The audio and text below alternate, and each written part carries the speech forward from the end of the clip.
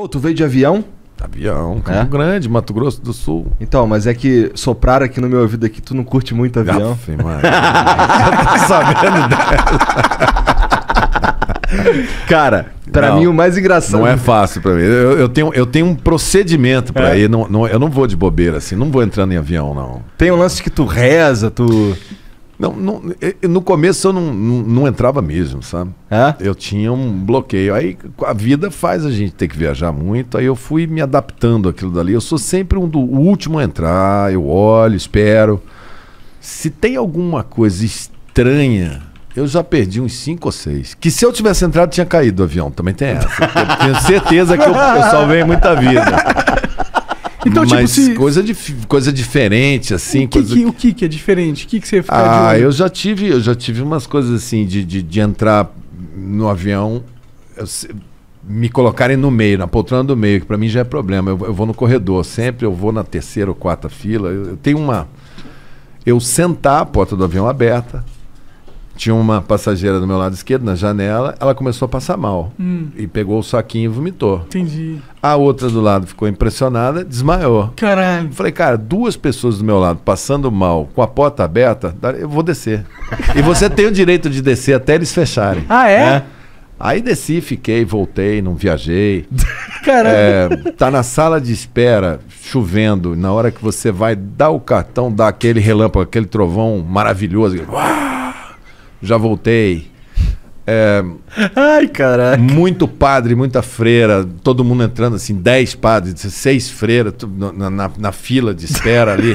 É muita Ué, gente. mas esse não tá mais abençoado, pô? É, pô, Deus tá lá. Coisa diferente. Uma vez eu estava em Campo Grande e eu ia, eu acho que era. Eu acho que era Florianópolis. E foi jogar, cara, em Campo Grande, a seleção brasileira de anões. Já viu essa parada? Não, nem sabia que É, existia essa tem, porra. Também não. Tem. E eles chegaram numa van. E eu tô lá pra embarcar. 11 anões. eu nunca tinha visto todo mundo junto. Falei, cara, não vou. Ah, não vou, Igor. Mas de onde, Vou vem, não. de onde vem essas Não superstições? sei, não sei. Aí eu chego naquela escada, por exemplo, aquela escada é uma conta de Ave Maria. Você põe o pé, Ave Maria, cheia de graça, senhora com você, vai até em cima, encosta a mão no avião, chama uns santos tal. É tudo organizado. Nunca viajei com a minha família toda dentro de um avião. Eu, minha Entendi. mulher, meus três filhos. Todas as viagens de férias, quando eu era pequeno de carro. Assim, eu desvio bastante de avião. E, e avião é um, é um- assim, é um, é um, é um, é um, é um processo para eu entrar e, e- e eu gosto de sentar na frente para sair primeiro, sabe? Entendi. Então você se ferrou, porque você virou Sabe um aquele cara negócio que... que... ela- fala? As portas de emergência são aqui, Aham, são ali, que ninguém presta atenção. Eu presto atenção milimetricamente em tudo. e já olho e falo assim, cara, se tiver, eu vou ter que passar por cima daquele cara que tá ali. já miro. Que doido. E aí você Muito virou, legal. tipo, um político, Mas né, que tem que tranquilo. viajar pra caralho, Já, você se ferrou. não, já fui. Já Você fui viaja muito, né? Japão, Inglaterra. É, tudo Japão via- é muitas horas, né? É, viagem longa e tal. Mas assim, durante o voo eu fico tranquilo e tal. É mais o processo de, de, de, de- de tomar a decisão de falar, não, eu vou, vou entrar mesmo aí dentro e, e essas toneladas todas eu vou depender desse motor para pôr esse troço lá em cima para voar. Que Mas viagem. depois que, que vai, aí, aí vamos, aí, aí não tem mais volta. né? E, bom, tá funcionando, você sobreviveu a todos, né? Não, e preservei muitas vidas no que eu não fui. Sim. Porque se eu tivesse ido, cara, Era não sei, algo me diz que, que teria dado ruim. Acho que todas as decisões foram acertadas. Cara, já pensou um dia, tu decide não entrar. Deus me livre. mas tu decide não entrar num avião e ele de fato sofre um acidente? É, pode Fudeu, vai validar toda Vai, essa é, toda doideira, cara. Vai validar toda a teoria, né? Olha isso. Não, eu espero que não caia nenhum, É, não. Mas, é. de, mas de vez em quando. é, de vez em quando eu não quero estar lá dentro. Então, quanto menos eu entrar, menor a probabilidade de eu. Uma vez eu estava saindo de Brasília. Ah. E, e tinha entrado uma, uma secretária nova, onde eu estava lá no gabinete. né? E eu expliquei para ela tudo do avião. Falei, ó, a ordem da companhia, se tiver nessa, você pega nessa, se não é nessa. A última opção é essa. E tal, e a cadeira tem que ser daqui e tal, expliquei tudo. E, e eu acho que ela apavorou com aquilo. E tinha um avião que saía Brasília, Campo Grande, voo direto. Que eu vinha e voltava com ele sempre. Eu fiquei no salão de espera, fui o último, né? Tudo normal, não tinha nada estranho. Falei, posso entrar, tá de boa, vou chegar em casa. Entreguei o meu bilhete, aí o cara passava aquele negócio uma vez. O cara olhou e falou: Não, meu senhor, o senhor não vai nesse voo. o seu voo é para Cuiabá, é aqui do lado.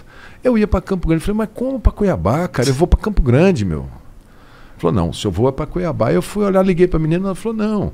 É que por Cuiabá, o senhor chegaria, o senhor falou que queria chegar antes, o senhor chegaria 15 minutos antes do que eu vou direto. Falei, mas você vai me colocar uma aterrissagem e uma decolagem a mais. Você vai dobrar meu risco. Aí tinha um voo mais tarde, tipo uma hora e meia depois. E ela falou: se eu conseguir uma passagem nele, senão só vai só amanhã, 24 horas depois. Eu falei: não, então eu vou para Cuiabá.